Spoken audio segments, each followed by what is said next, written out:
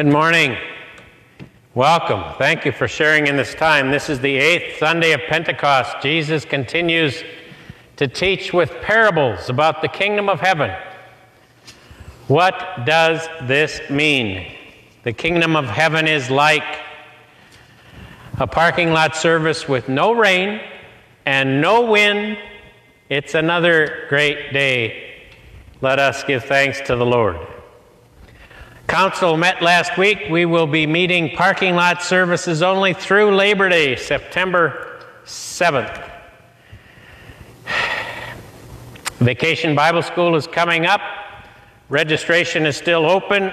It will run August 3rd through the 7th. At home, of course, and online. Supplies will be distributed. More information and supplies, you see Alex. And uh, we will take a look at a new way to do Vacation Bible School. So, the kingdom of heaven, found in a variety of ways. Jesus uses a variety of examples to help the disciples understand.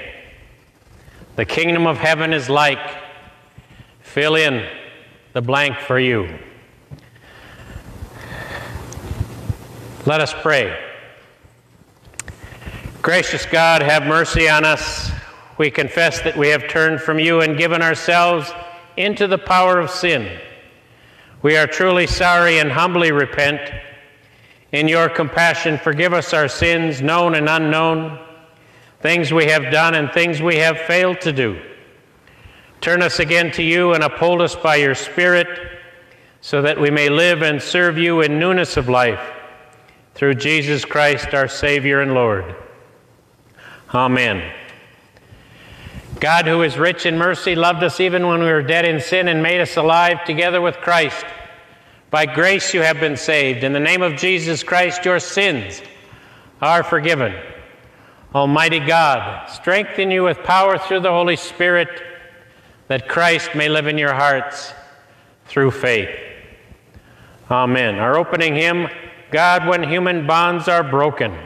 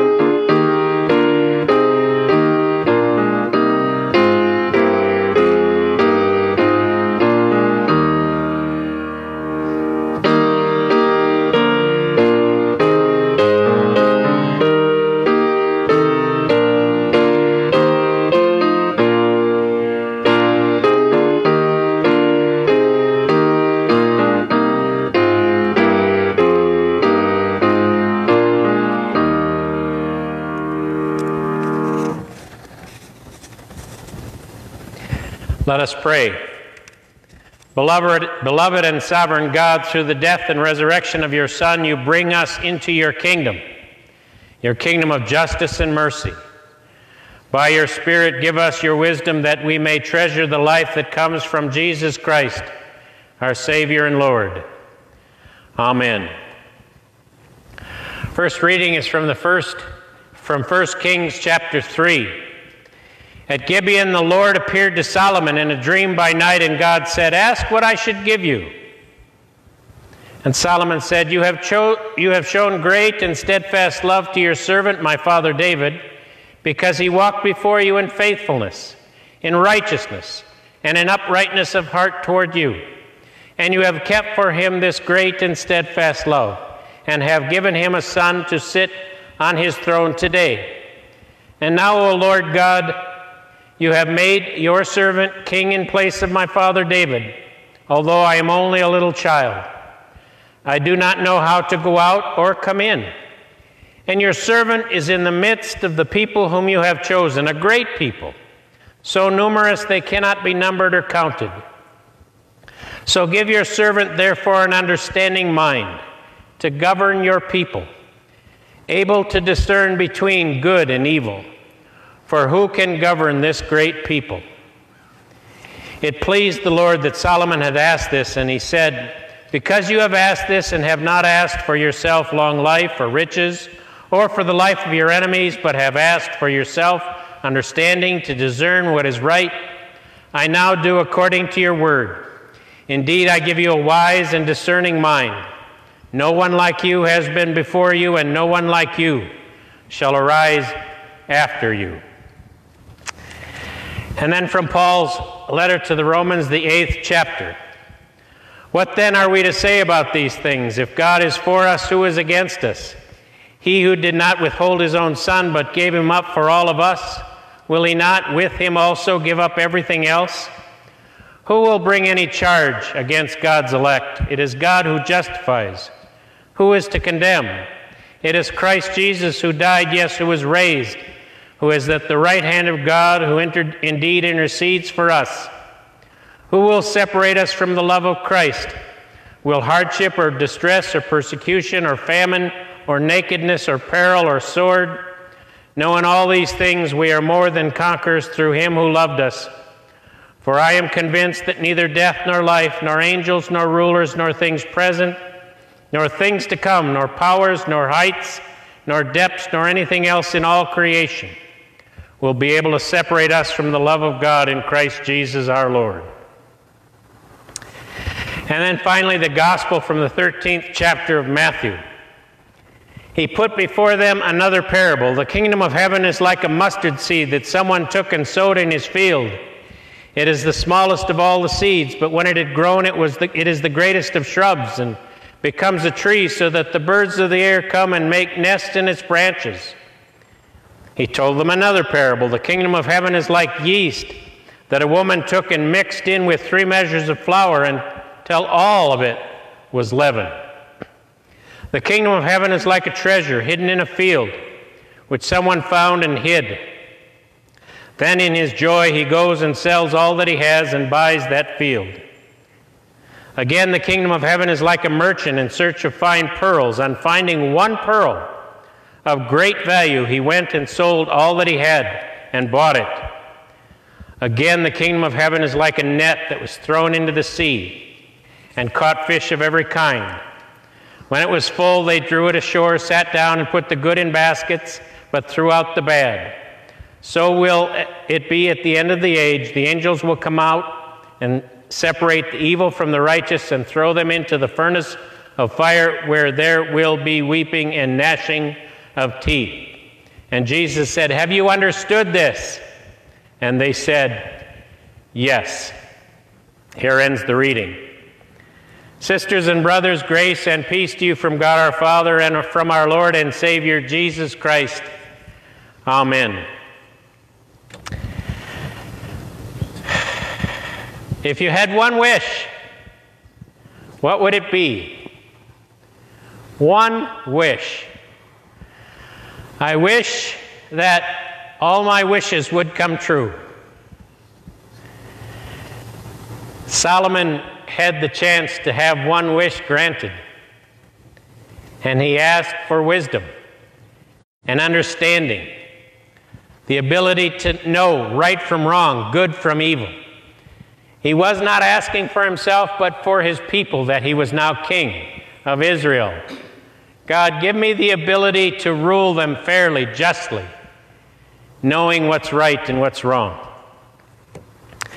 Think about Genesis 3 and the temptation of Adam, Adam and Eve in the garden. They looked at the tree and they listened to temptation, and they saw that the tree, the fruit of the tree, was good for food and pleasing to the eye, and also desirable for gaining wisdom. She ate it she also gave some to the man who was with her, and he ate it. And then the eyes of both were opened. You will be like God, knowing good and evil. The difference between the two stories Solomon asked for that understanding, that knowledge for his people. Adam and Eve were seeking it just for themselves. And I wonder if in all this long reading through Matthew 13 in the parables, the kingdom of heaven is like. I wonder if the reoccurring theme is the kingdom of heaven is intended to serve you, intended to serve others. I was reminded of a story this week about a seminary professor who, way back when, got up at the daily chapel service to deliver the sermon. He started by quoting Luke chapter 12 Have no fear, little flock, for the Father has chosen to give you the kingdom. Amen. And he sat down. That was the message. That was the whole message. Now, a seminary professor can get away with that, but a pastor cannot. But in a seminary, perhaps he wanted the students to think what does that mean? That God's good pleasure is to give you the kingdom. A gift, grace filled, mercy, love. Have no fear, for the Father has chosen to give you the kingdom.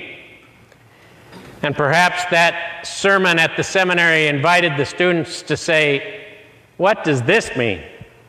And what does it mean when we have the kingdom? We don't understand.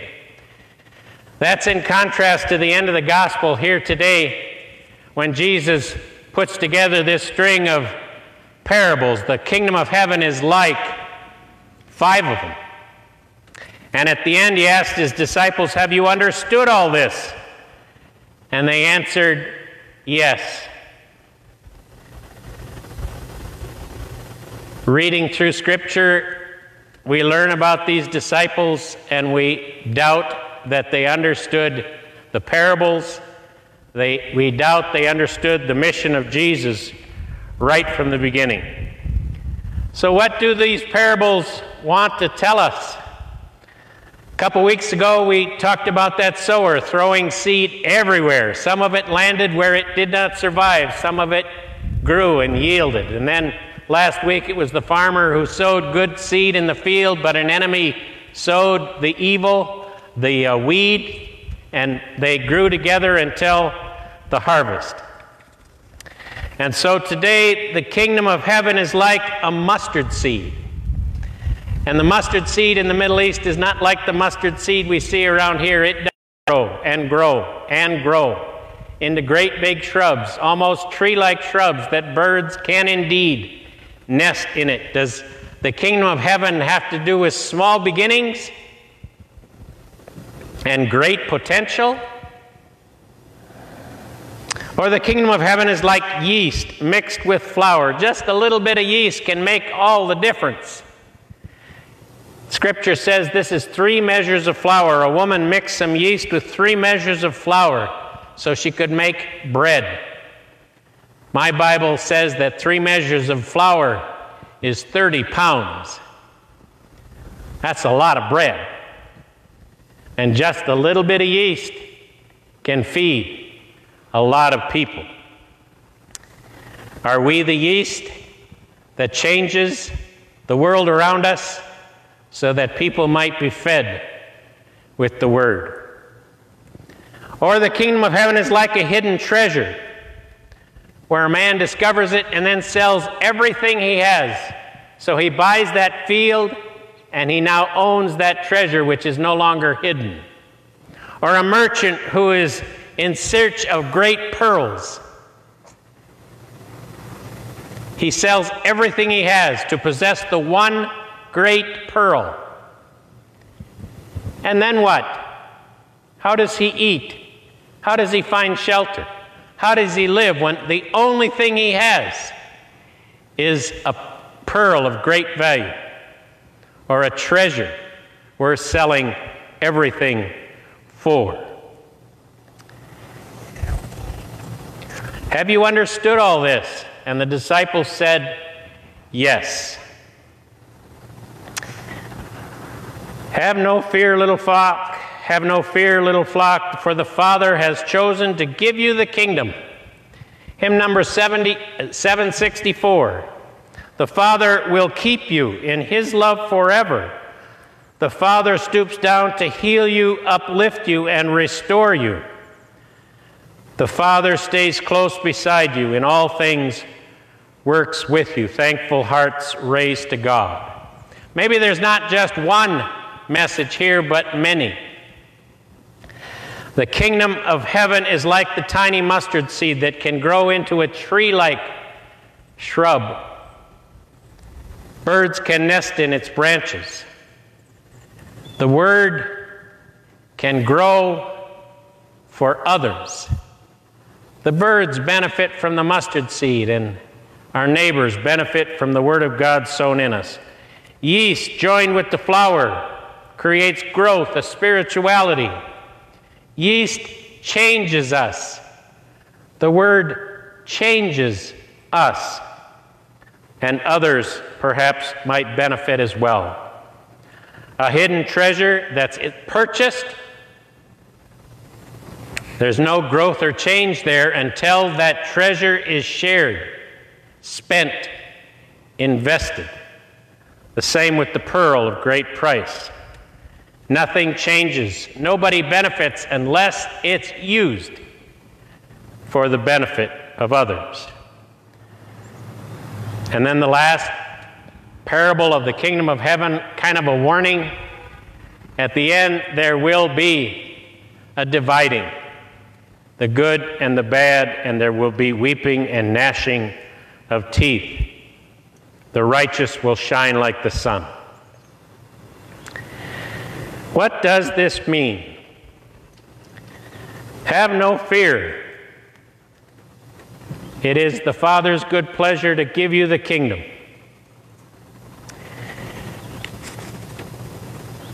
Do you understand this?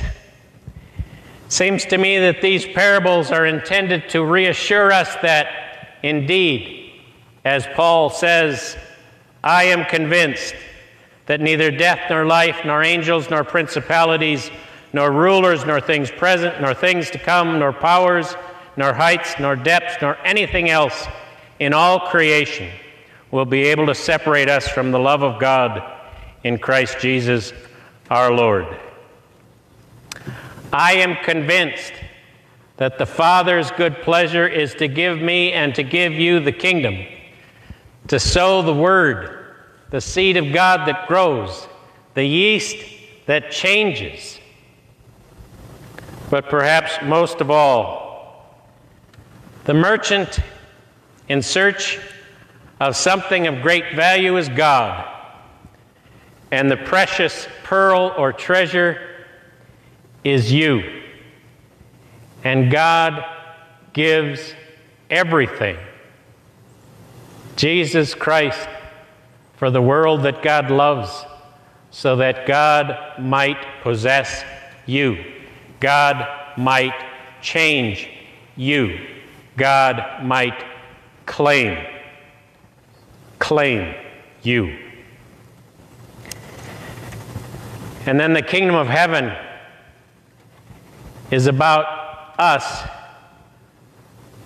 treasured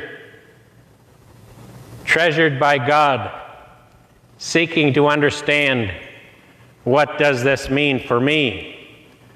What does this mean for the neighbor? So have no fear. The Father has chosen to give you the kingdom, and the kingdom is ours forever. Thanks be to God, and Amen. So the hymn of the day is a celebration of being chosen by God, let us go now to the banquet.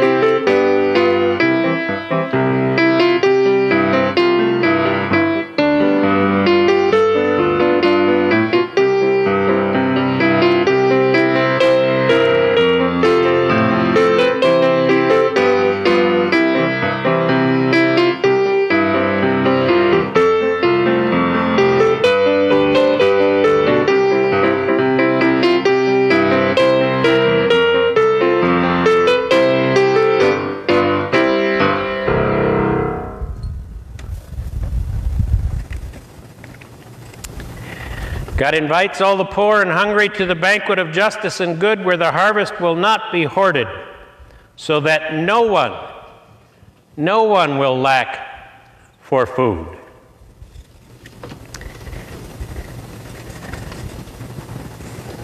We confess together our faith using the words of the Apostles' Creed. I believe in God the Father Almighty, creator of heaven and earth. I believe in Jesus Christ, God's only Son, our Lord, who was conceived by the Holy Spirit, born of the Virgin Mary, suffered under Pontius Pilate, was crucified, died, and was buried. He descended to the dead. On the third day, he rose again. He ascended into heaven. He is seated at the right hand of the Father, and he will come to judge the living and the dead. I believe in the Holy Spirit the Holy Catholic Church, the communion of saints, the forgiveness of sins, the resurrection of the body, and the life everlasting. Amen. Having been called and blessed with the kingdom, we pray for the church, the world, and all who are in need. Merciful God, your reign is revealed to us in ordinary things a mustard seed, a woman baking bread, a fishing net. Help your church witness to the surprising yet common ways we encounter the Lord and you encounter us in daily living. As the birds of the air nest in the branches of tree, gather the nations of the world into a welcoming shade, the welcoming shade of your merciful reign. Direct leaders of nations to build trust with each other and walk in the way of peace. Lord, your Spirit helps us in our weakness and intercedes for the saints according to your will. Help us when we do not know how to pray. Give comfort to those who are dying, refuge to the weary, justice for those who are oppressed, healing to the sick, comfort to those who grieve. You show mercy and steadfast love and direct us to ask of you what we need. Help this gathering of your people ask boldly for what is most needed. Refresh us with new dreams of being your people in this time and place. In you, our lives are never lost. Strengthen us by the inspiring witness of the people around us in all times and in all places. Embolden our witness now and one day gather us with all your saints in the certain hope that nothing can separate us from your love, we offer these prayers to you through Jesus Christ, who teaches us to pray. Our Father, who art in heaven, hallowed be thy name. Thy kingdom come, thy will be done, on earth as it is in heaven.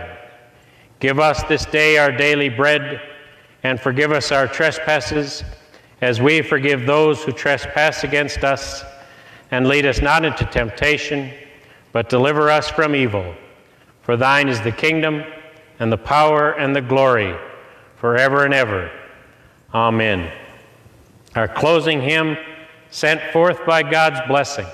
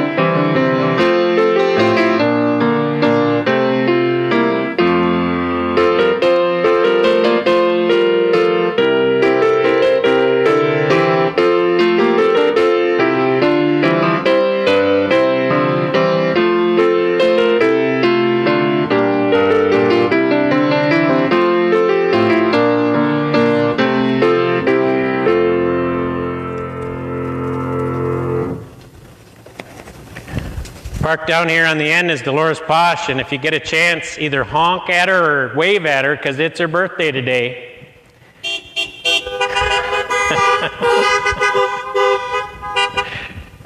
Happy birthday, Dolores. May the Lord bless us and keep us. May the Lord make his face shine upon us and be gracious to us. May the Lord look upon us with favor and grant us peace in the name of the Father and of the Son and of the Holy Spirit. Because God has chosen to give us the kingdom, we can go in peace to serve the Lord. Thanks be to God, and thanks be to God for all of you this day.